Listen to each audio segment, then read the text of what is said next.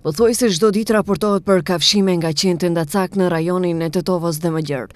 Rasti më i ri ka ndodhur dje kur një 39 vjeçar me iniciale N.P. nga Shkupi, në orën 12 në policinë e Tetovës, ka raportuar se rreth orës 9 në rrugën 121 në Tetovë është kafshuar nga një qen endacak. Ky problem pothuajse haset edhe në komuna tjera të rajonit të Pollogut, ku qentë endacak sulmojnë qytetarët, përderisa nuk kanë zgjidhje afatgjate.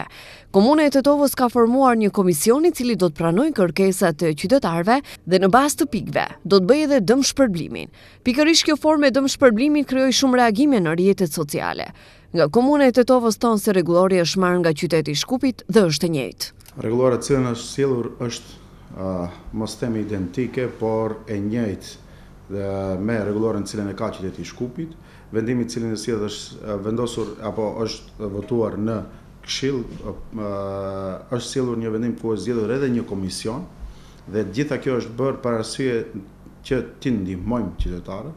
Për arsye se më parë administrata, udhëheqësia paraprake i ka ndalur të gjitha pagesat apo dëmshpërblimet nga kafshimet e qenve endacak. Më pastaj, pasi që ka ndodhur një fatkeqësi e tillë, qytetari është detyruar që të dërgon lëndën apo domethënë gjithë atë procedurë deri tek përmbaruesi në gjyq dhe është dashur që të pret pesë deri në dhjetë vite derisa t'i marrë mjetet e kompenzimit.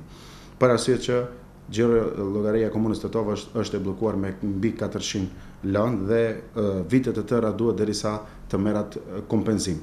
Për t'i ikur të gjitha këtyre procedurave dhe për të qenë më fleksibilë dhe më afër qytetarëve kemi bërë një komision dhe kemi bërë një rregullore identike të qytetit të Shkupit, siç e ka edhe qyteti i Shkupit por e kanë edhe qytete tjera, që në moment që do të ndodhë një fatkeqësi e tillë, Ndaj çdo qytetari mjafton që të vijnë deri tek arkiva e komunës të dorëzojnë të gjitha lëndët apo materialet e nevojshme të cilët duhet ai komision që t'i shqyrton dhe menjëherë të merr kompenzimin, të mos pret me vite të tëra për të bërë kompenzimin. Pra, bëhet një rregullore apo një zgjidhet një komision jo për t'i ikur përgjegjësisë por përkundrazi për të pasur një zgjidhje afatshkurte derisa të bëjmë një zgjidhje afatgjatë ju e dini që edhe kryeministri i vendit doli dhe tha që problemi me qentë endacak është problem në nivel nacional ka edhe shumë komuna tjera ku udhëheqen nga pushteti qendror apo kryetar komuna të cilët e kanë edhe pushtetin lokal edhe pushtetin qendror dhe këtë problem nuk arrin ende që ta zgjidhin. Sipas informacioneve në vitin dy mijë e njëzet e dy deri tek Komisioni Komunal kanë arritur tridhjetë e pesë kërkesa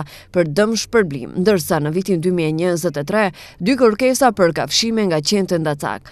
Nëse qytetarët e komunës së Tetovës kafshohen nga qen endacak, do të grumbullohen pikë në bazë të cilave më vonë do të merret edhe kompensim në të holla. Kështu thuhet në rregulloren e Komunës së Tetovës, ku konstatohen kriteret e vlerës së kompensimeve për qytetarët që do të kafshohen nga qen endacak. Kafshimi nga qentë endacak nënkupton kafshimin dhe gërvishtjet e shkaktuara në trupin e të dëmtuarve. Varësisht të llojit, nëse është kafshim i rëndë, mesatar apo gërvishtje, fitohen pesëmbëdhjetë, dhjetë dhe pesë pikë. Po aq pikë fitohen varësisht edhe nga numri i kafshimeve. Në rregullore parashihen pikë edhe për frikën e shkaktuar.